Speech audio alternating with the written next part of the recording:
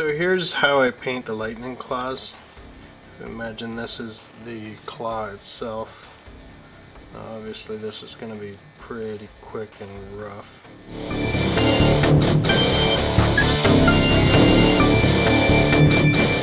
So guys at this stage then we move to ice blue and what I do is I start at the tip and draw it down. Now my camera's sort of in the way here but I would draw it to about three quarters where the claw so from the tip towards the actual hand